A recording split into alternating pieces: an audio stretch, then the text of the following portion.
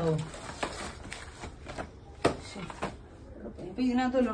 അതെന്റെ മാത്രമാ സോറി ഇതാണ് കേട്ടോ ഞാൻ ആക്ച്വലി തേടി വരുന്നത്. ഇത് ഞാൻ ചേർത്തല പോളി പഠിക്കുമ്പോൾ റഫ് റെക്കോർഡാണ് ആക്ച്വലി ഈ റഫ് റെക്കോർഡ് ഫെയർ റെക്കോർഡ് എന്നൊരു സിസ്റ്റം ഫെയർ ആണെന്ന് എനിക്ക് പലപ്പോഴും തോന്നിയിട്ടില്ല. കാരണം സാറന്മാർ തരുന്നൊരു മെറ്റീരിയൽ നോക്കി എഴുതുമ്പോൾ അല്ലെ പടമൊക്കെ വരയ്ക്കുമ്പോഴത്തേക്കും തെറ്റിപ്പോണ പ്രായമല്ല. അല്ലെങ്കിൽ അക്ഷരം വൃത്തികേടായി പോണ ഒരു പ്രായമല്ലല്ലോ. അപ്പം റഫ് റെക്കോർഡ് അല്ലാണ്ട് ഡയറക്റ്റ് ഫെയർ ചെയ്യണം എന്നൊരു കൺസെപ്റ്റ് ഉള്ള അതിനുള്ള ധൈര്യമുള്ള പിള്ളേർക്ക് അതിനുള്ള ഒരു ഫ്രീഡം കൊടുക്കണമെന്നാണ് എനിക്ക് പലപ്പോഴും തോന്നിയിട്ടുള്ളത്. ഗെയിമിലെ പ്ലാനിങ് ആണ് കേട്ടോ ഇത് കാണുന്നത്. അതായത് നൂറ്റി രണ്ട് ദിവസത്തെ കണ്ടിന്യൂസ് ആയിട്ടുള്ള കഠിനാധ്വാനമാണ് ഇവിടെ കാണുന്നത്. ആർച്ചർ ക്വീനെ പർച്ചേസ് ചെയ്യുക ലാബ് അപ്ഗ്രേഡ് ചെയ്യുക ഫാക്ടറീസ് അപ്ഗ്രേഡ് ചെയ്യുക army camps dark elixir drill barracks അങ്ങനെ എല്ലാം ഉണ്ട് കേട്ടോ.